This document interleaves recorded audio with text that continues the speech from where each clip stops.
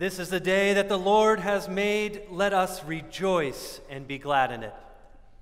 My name is Dave Killeen. I'm the rector or senior pastor here at St. John's Episcopal Church in Tallahassee, Florida. We want to welcome you here to this time of worship. We have a saying here at St. John's that wherever you are on your spiritual journey, you are welcome here. So, welcome to this service. I want to invite you at home to please stand, and I want you to sing our opening hymn loud enough so that your neighbors can hear. Please stand and let's joyfully sing together.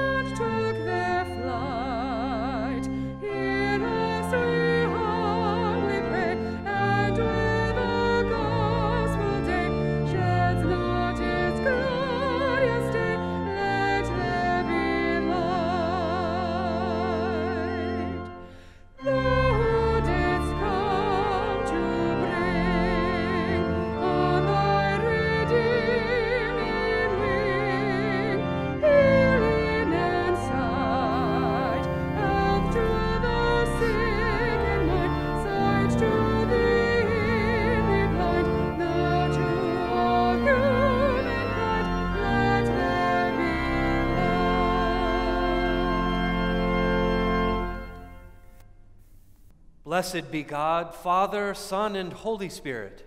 And blessed be his kingdom, now and forever. Amen. Almighty God, to you all hearts are open, all desires known, and from you no secrets are hid. Cleanse the thoughts of our hearts by the inspiration of your Holy Spirit, that we may perfectly love you and worthily magnify your holy name through Christ our Lord. Amen. Dear friends in Christ, the Lord be with you. And also with you. Let us pray. Almighty God, you have given your only Son to be for us a sacrifice for sin and also an example of godly life. Give us grace to receive thankfully the fruits of his redeeming work and to follow daily in the blessed steps of his most holy life. Through Jesus Christ, your Son, our Lord, who lives and reigns with you in the Holy Spirit, one God, now and forever. Amen.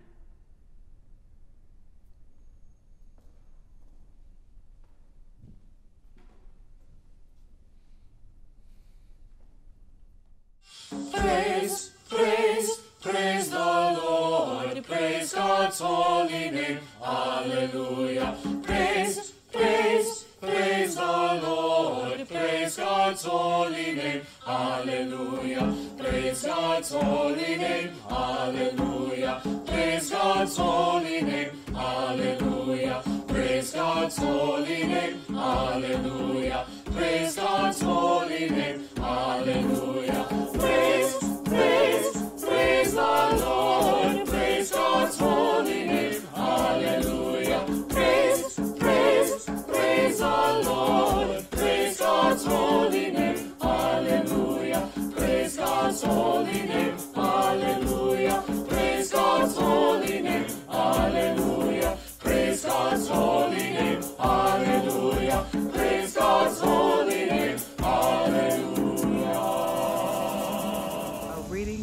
Book of Genesis.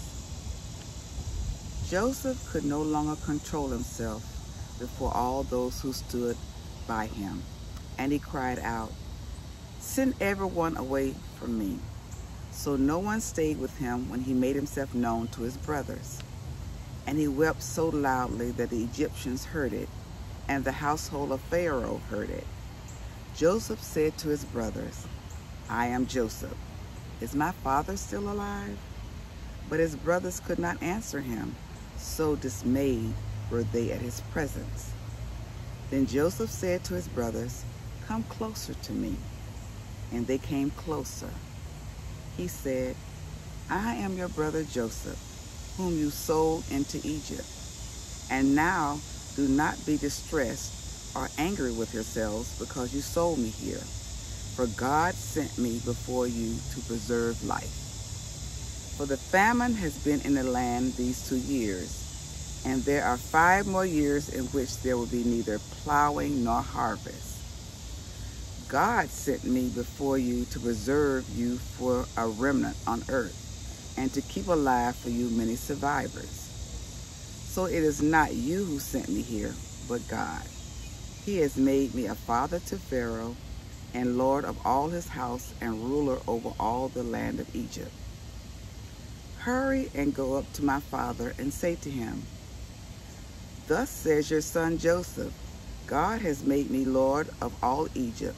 Come down to me, do not delay.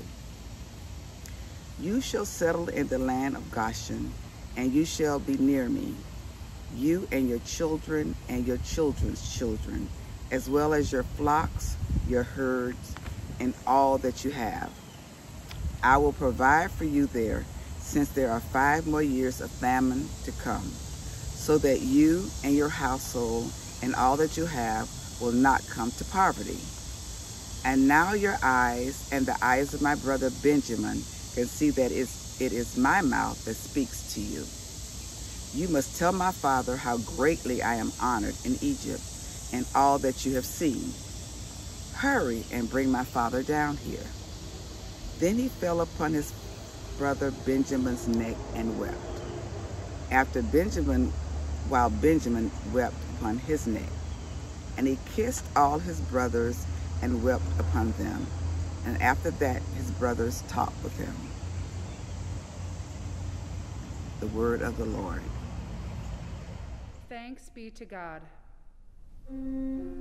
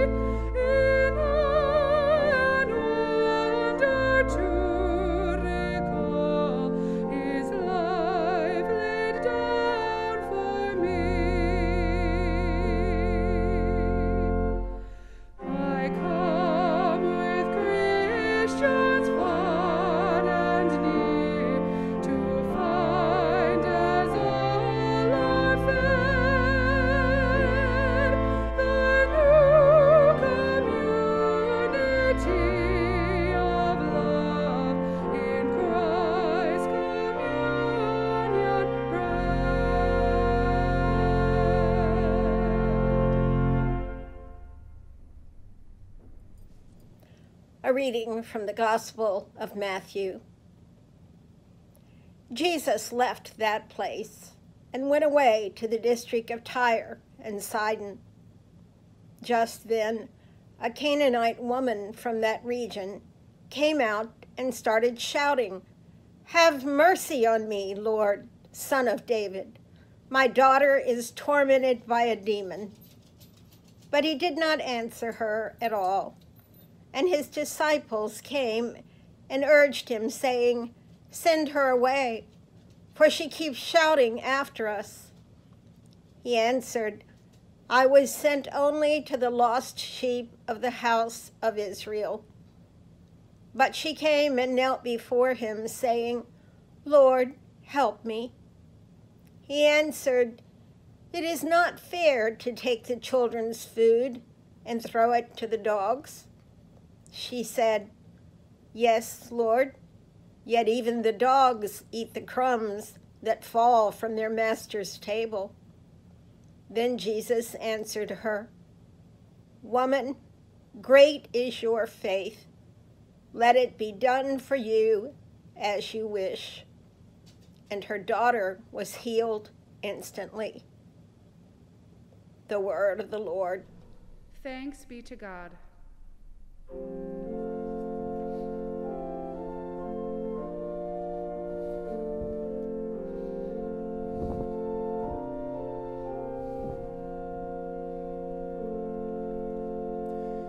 At this time, I would like to invite the children to gather around their device, their TV set, for our children's homily time.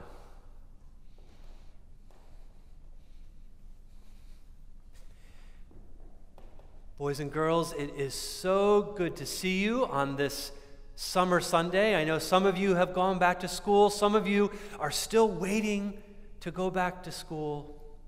We're kind of in that process right now of connecting all of these dots. Maybe you've played that game. When I was your age, I loved connecting the dots. Maybe you started with one, a dot little over here, and then you'd follow it to two and three and four. And before you, if you look down at that page, you could see something beautiful take shape, like a, a starfish or maybe an ice cream cone. When you first started, you couldn't tell what it was, but when you connected all of the dots, suddenly everything became clear. You could see that starfish or the ice cream cone. Well, friends, I want us to be thinking together about our story from the Old Testament today, the book of Genesis. That word Genesis means beginnings the beginnings of the world, the beginnings of God's people. And you'll remember last week, Joseph, surrounded by all of his brothers, Joseph was thrown into a pit by his own brothers. They got into a big fight. And so I want you to think of that story kind of like a dot and connect the dots. It's one little moment in this big picture. So Joseph is thrown down in the pit, and he was very scared. And then he went off to Egypt, and there he was doing pretty well. But then he got falsely accused. Someone lied and said that he did a crime, but he didn't do it. And so he was put in prison. So that was another dot on his journey, not a very happy one. But then remember, Joseph is a dreamer. Remember, he had that dream that his brothers and his parents would bow down and serve him. Well, he wasn't just a good dreamer, he could tell people what dreams meant. And so the king, Pharaoh, had a bad nightmare, and he wanted to know what his dream was all about. And so Joseph told the king, Joseph told Pharaoh what this dream meant. And because of that, he was lifted up. It was a, a good moment for Joseph, another dot on his journey where the picture was becoming just a little bit more clear. And then Joseph's brothers had to, to journey all the way to Egypt where he was in order to find food. And it gave them a chance to say sorry to each other for the brothers to say sorry to Joseph for throwing him in a pit. And for Joseph, it was a chance to offer forgiveness, to say, it's okay. And boys and girls, it's one of the most beautiful moments in the whole Bible. Joseph and Joseph's brothers held each other, they gave each other a big hug. And what we see by the end of the book of Genesis is we see that whole picture like the starfish or the ice cream cone. We can see what it all, how it all comes together for good. Because God is always working for good to bring us together in closer connection, just like those dots, closer connection with God and each other. Amen.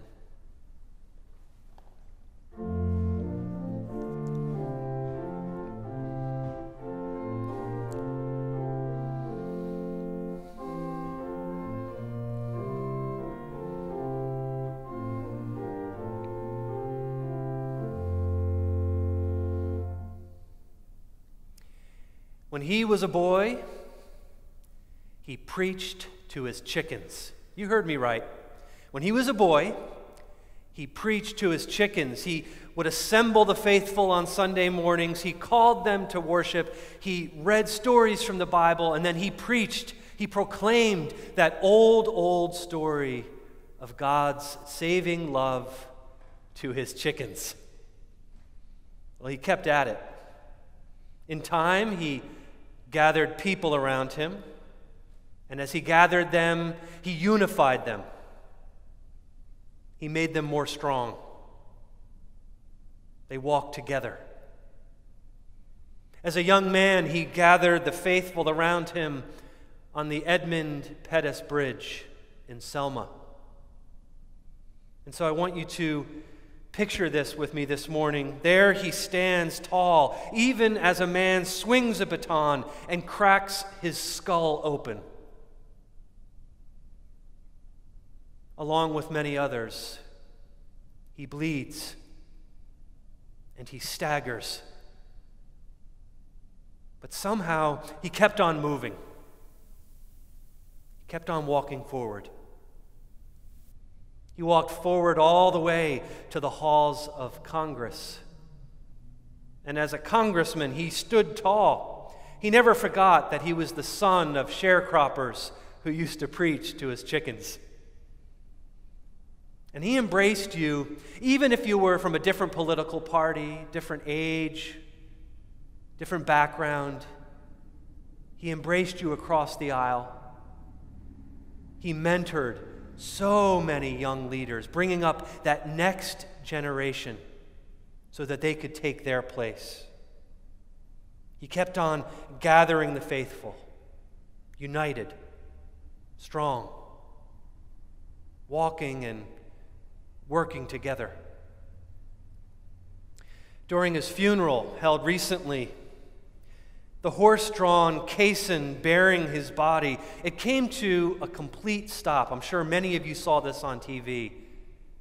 That horse drawn cart carrying his casket came to a complete stop for a moment of silence in the very center of the Edmund Pettus Bridge. And there they paused. They paused on ground hallowed by his and many others' witness rose petals strewn on the road, a reminder of the blood that had been shed, but also of the fruit of justice and peace. In a letter that was published soon after his death, a letter that he wrote to you and to me and to our nation and the world. He had this to say He said, In my life, I have done all that I can to demonstrate that the way of peace, the way of love and nonviolence, is the more excellent way. Now, it is your turn to let freedom ring. It's your turn to let freedom ring. John Lewis's life, like any human life, is a series of moments, soaring highs, painful lows, and many ordinary Tuesdays in between. But when you begin to connect those dots, you begin to discern a pattern, a meaning, a purpose. And you begin to see that God was there the whole time connecting those dots. It's true for John Lewis. It's true for Joseph and his brothers, for Jesus and the Canaanite woman, for you and for me. God connects those dots. And what we need to do is pause and reflect to see how they come together in a meaningful whole. I'm not going to spend too much time on Joseph. You heard about him in the children's homily. But you have those four major moments the, the pit, and then he's sold into slavery in Egypt, and then he goes into the pit again in prison, but then he interprets Pharaoh's dreams. He rises, he rises up from that, a soaring high, where he becomes a chief of staff. his leadership gifts are recognized. And then finally, the most important moment of Joseph's life, where he doesn't stand over his brothers, he stands beside them and he holds them. They reconcile. And so, if you connect the dots of Joseph's life, you'll meet a God who has been there all along, a God who guided Joseph and his brothers, a God who nourished them and gave them food for the journey, a God who brought them together in the end of the story in a moment of profound healing, a moment of profound grace. I think that's why Joseph gets so emotional. Did you notice that today in our Old Testament story? Everyone's emotional. You don't always see that type of emotion in the Bible, but they break down, and as it says in Scripture, they weep upon each other's necks. And for Joseph and his brothers, I suspect it has more to do with a recognition that God has been a part of their lives the whole way through. In the low moments, in the high moments, all of those moments in between. God has been there the whole time. This is exactly what the Canaanite reminds Jesus of. She tells Jesus, she helps him to remember three important moments, or more specifically, three important people in his family tree. And it all starts with a simple phrase she says, Lord, have mercy upon me and my daughter who is tormented by these demons. Bring healing into the life of my family. And then she uses a phrase that's really important. She says, Son of David. So it begins with an acknowledgement of Jesus' authority. Lord. Now remember, she's a Gentile but she understands Jesus' authority. And it's a type of authority that is not lorded over others. Think of Joseph standing over his brothers and saying that one day you're going to bow down and you're going to serve me. It's not that type of authority. It's where your brothers and sisters stand by your side and you embrace them in humble service. So she understands that Jesus wields authority creatively for healing, for abundant life. So she calls him Lord. And then she says, Have mercy. She's deeply aware of her need for God in the, in the way that you and I need to be aware of our need for healing, our need for God. She says, We're hurting. My daughter is hurting. We're desperate. Jesus, we need your help. She doesn't pretend that she can go it alone. She says, We need help. And that is something that brings us together as humanity as we stand equally in need of God's power and God's peace. But it's that last part of what she says that on the surface of things it doesn't look that important, but it's really, really important to dig into a little today. She says, Son of David. Well, what's going on there? She's reminding Jesus of her family tree. And her family tree, remember, she's a Canaanite, she's a Gentile. Her, Jesus, she reminds Jesus that his family tree contains three Canaanite women Rahab, Tamar, Ruth.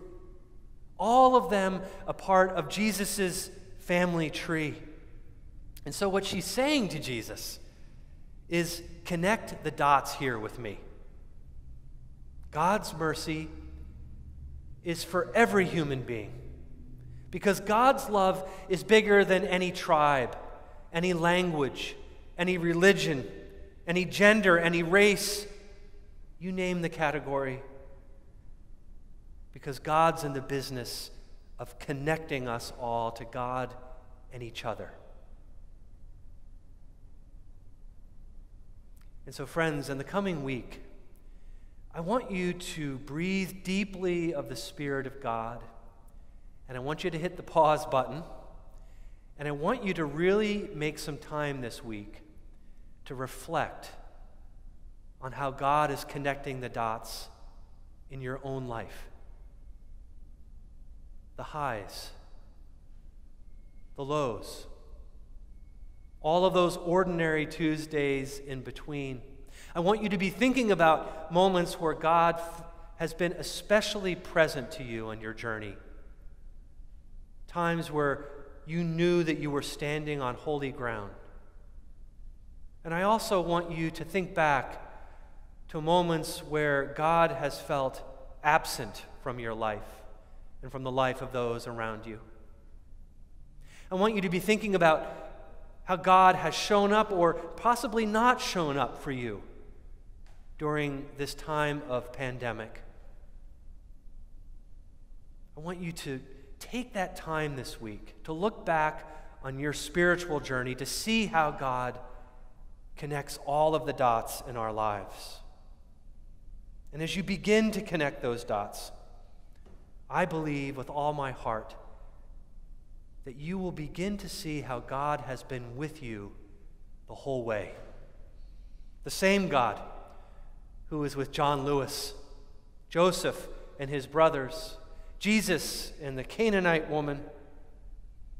Because in Jesus, God is always gathering us close, just like Joseph says to his brothers today Come closer to me. God gathers us close, and He walks with us across every bridge of alienation until we come together to that promised land of justice and peace. Amen.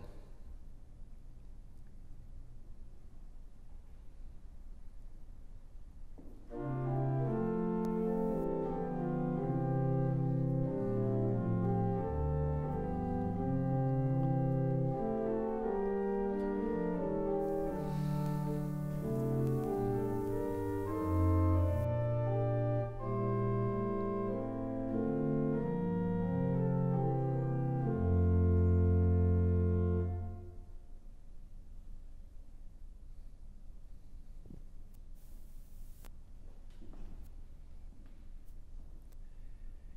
like to invite you at home to stand if you're able and join me in praying the Apostles' Creed.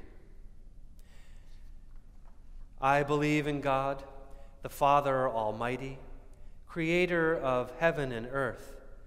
I believe in Jesus Christ, his only Son, our Lord. He was conceived by the power of the Holy Spirit and born of the Virgin Mary. He suffered under Pontius Pilate was crucified, died, and was buried. He descended to the dead. On the third day, he rose again. He ascended into heaven and is seated at the right hand of the Father.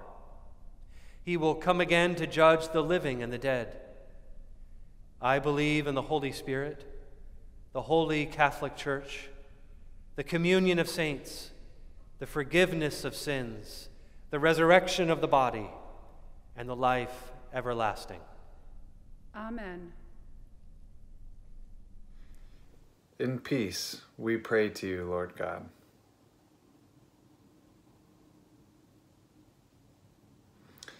For all people in their daily life and work, for our families, friends, and neighbors, and for those who are alone. For this community, the nation, and the world for all who work for justice, freedom, and peace.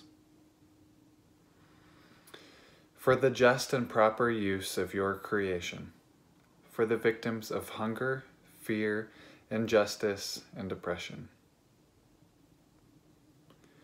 For all who are in danger, sorrow, or any kind of trouble.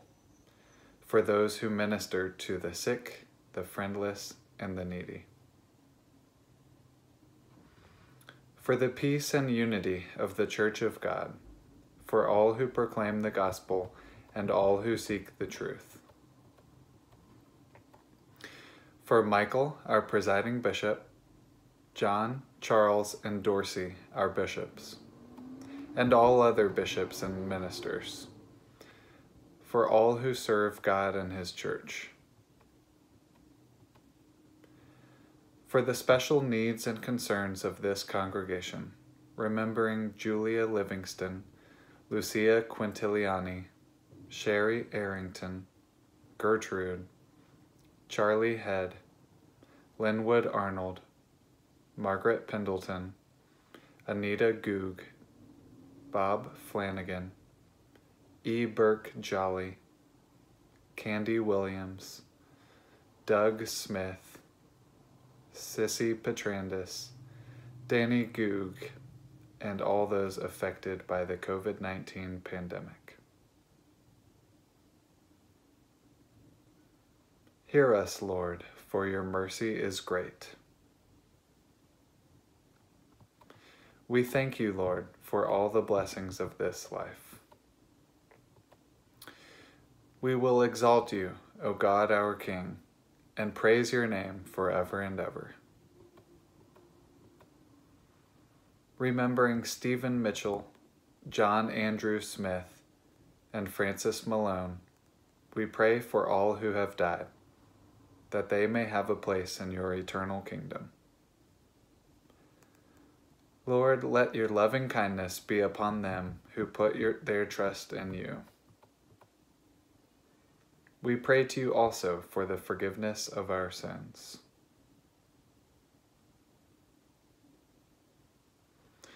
Have mercy upon us, most merciful, Merciful Father. Father, In your compassion, in your forgive us compassion, our forgive us our sins, known and unknown, things done and left undone. And so uphold us by your Spirit, that we may live and serve you in newness of life, to the honor and glory of your name, through Jesus Christ our Lord. Amen. Almighty God, have mercy on you, forgive you all of your sins through our Lord Jesus Christ, strengthen you in all goodness, and by the power of the Holy Spirit, keep you in eternal life. Amen. The peace of the Lord be always with you. And also with you. If you've happened upon our service today and are new to St. John's, we hope you'll take a moment to fill out our online welcome card. You can find that on our website or in the Facebook chat. Today, we're going to celebrate the ministry of the St. John's Book and Gift Store, which has touched so many lives over these past 20 years. In ministry, as in life, there are seasons. And now, while we mark the end of the bookstore ministry, we celebrate the faithfulness of our bookstore managers, volunteers, and guests who supported this vital way to connect to God and neighbor. I speak to you as one who may not well be a priest in God's church if it were not for the kindness of bookstore staff members who recommended books that changed my life. Books from the St. John's bookstore transformed my life in ministry, and conversations, most importantly, with managers and volunteers and guests have inspired my faith. Today, we celebrate 20 years of a job well done. Now, in normal times, we'd be able to thank staff members like Gina Proctor, our most recent manager, in person, but these are not normal times. So let me take a moment to express my gratitude to Gina, who brought her retail expertise, a keen eye for meaningful gifts and books, and a wonderful collaborative spirit and sense of humor. As the church faced the challenges of the COVID era retail world, the vestry had to make the difficult but necessary decision to discontinue the ministry.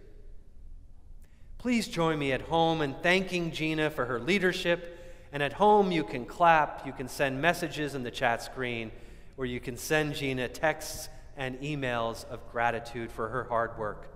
Gina, we love you, and we are so grateful for your service to God and our community. At this time, I'd like to offer a prayer that remembers all of our managers, volunteers, and guests. So, friends at home, please join me in prayer. Gracious God, we are called to read, mark, and inwardly digest your word. We give thanks for the St. John's Book and Gift Store and its 20 years of ministry that provided a place for all of this to happen. We are thankful for the many hands that volunteered in the bookstore to greet guests warmly as they came to find that perfect gift. And we give thanks for the managers through the years who have lent their vision and passion to guide this bookstore's purpose. And we give thanks also for each person who were able to be met where they were on their spiritual journey with a friendly smile and the perfect gift or book. We thank you for all of your labor, saying with Jesus, Well done, thou good and faithful servants. And we ask God's blessing as we continue to discern our next steps for the missions of St. John's. Amen. Well, we hope all of you will join us after the service for coffee talk as we celebrate the, the bookstore ministry during that time together. And the link for Coffee Talk is below, or it can also be found at our Church at Home webpage. We have lots of great coffee talks coming up in the month of August. Next Sunday, the 23rd, you're going to get a sneak peek of the new St. John's website. On August 30th, that will be our Back to School 2020 celebration, where we're going to have inspirations from our past for this uncertain school year ahead. We'll have a multi generational panel of St. John's parishioners who are going to share stories of memorable teachers and back to school experiences. We're also going to perform a blessing of the devices, very important this year as many students study digitally.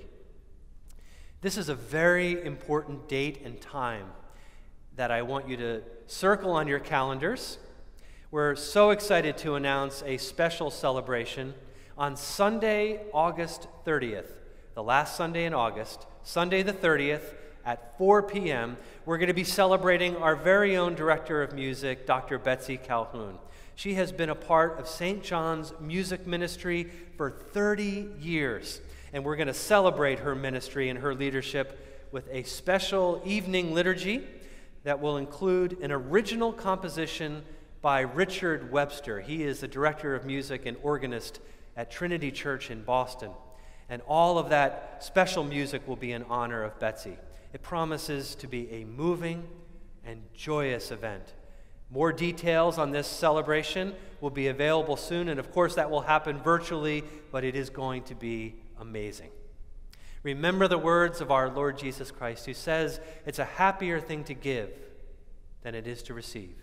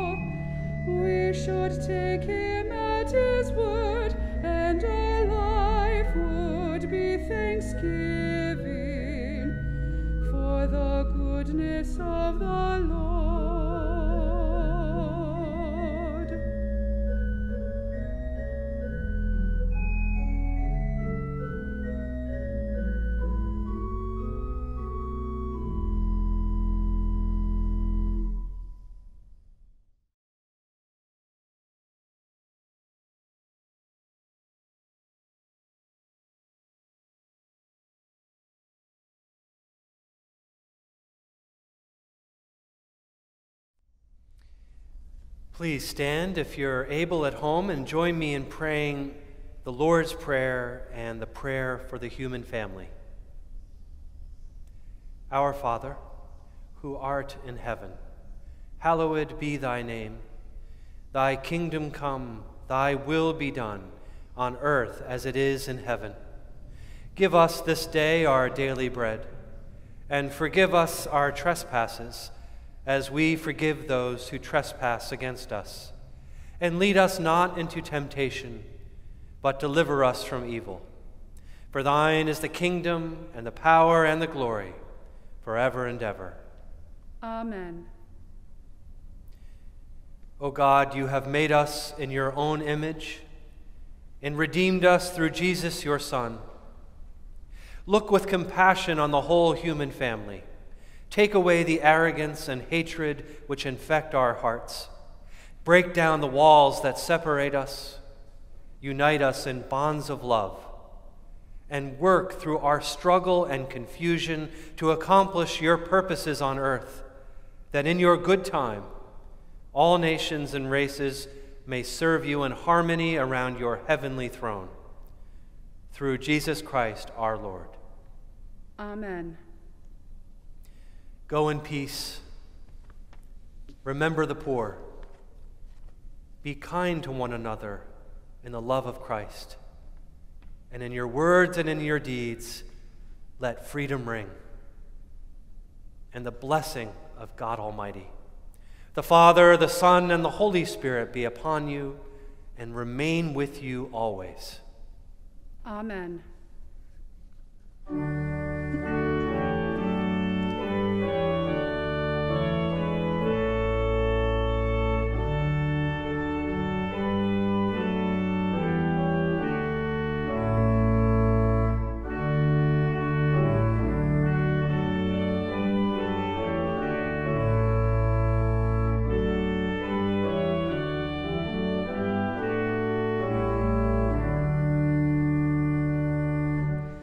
she